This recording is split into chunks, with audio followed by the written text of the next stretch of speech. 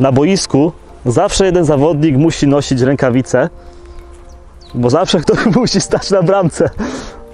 Zawsze w tym, na tym podwórkowym graniu, tam może niektórzy z Was pamiętają jak się na podwórku gra, to zawsze ten, który stał na bramce miał najgorzej, bo musiał na nim stanąć.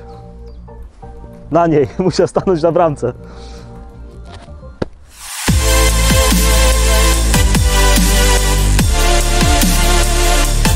Bramkarz, gdy stoi na bramce, to tak naprawdę nie ma wyboru, w którą stronę piłka poleci. Musi używać swojego refleksu, bo nie jest w stanie zawsze wyczuć, w którą stronę ta piłka poleci. O! Na przykład w ten sposób. Nie wiem, gdzie ta piłka poleci, czy ona poleci w tą stronę, czy w tamtą.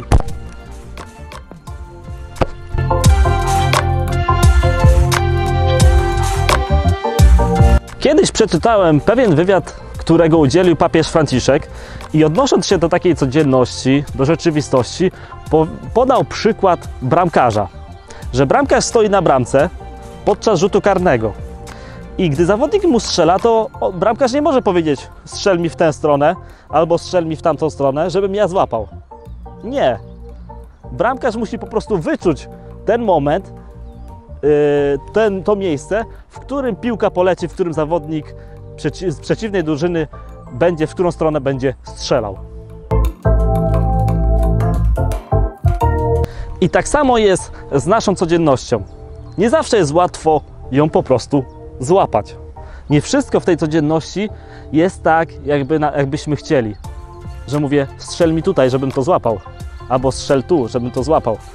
Nie, po prostu muszę łapać dobre rzeczy z tej codzienności. Wyłapywać to, co jest dobre. To, że ktoś mi pomoże, to, że może ktoś się do mnie uśmiechnie, to, że może otrzymam coś od kogoś, jakieś dobre słowo od drugiego człowieka. Ja muszę to łapać.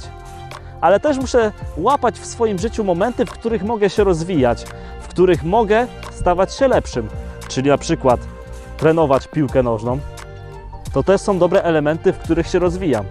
Czy też poświęcać czas na naukę, na czytanie książek, żeby rozwijać się intelektualnie. Ale też muszę poświęcać czas Panu Bogu, żeby rozwijać się duchowo.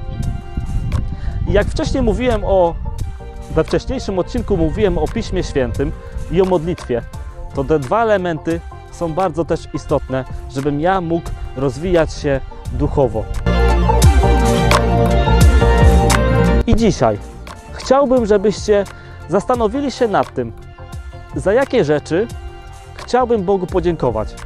Bo to, co się dzieje w codzienności, w mojej codzienności, może czasami szarej, w której wydaje się, że wszystko jest taką rutyną, bo może dzień wygląda tak samo, w sensie szkoła, nauka, potem trening, czy inne zajęcia, może studia, może jakieś korepetycje, może nie wiem, różne dodatkowe zajęcia. To chciałbym, żebyś w tym dniu, którym teraz masz, który dzisiaj przeżywasz, wyłapał te dobre rzeczy, które się dzieją w Twoim życiu. Wyłapał je i podziękował za nie Panu Bogu. Bo jak wierzymy, w naszym życiu nic się nie dzieje przez przypadek. Wszystko ma jakiś cel.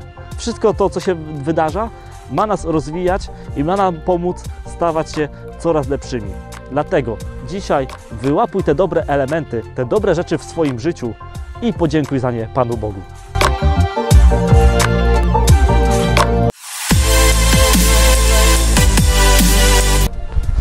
Ale mi rzucił. No, ale to taki chwyt słaby. Ale wtedy, złapię piłkę, tylko w tym momencie mogę ją wprowadzić na boisko tak jak ja chcę. Inaczej, jeżeli jej nie złapę, złapię, jeżeli jej nie złapię, to wtedy nie jestem w stanie tego zrobić. Wyłapujcie te dobre momenty i dziękujcie za nie Panu Bogu.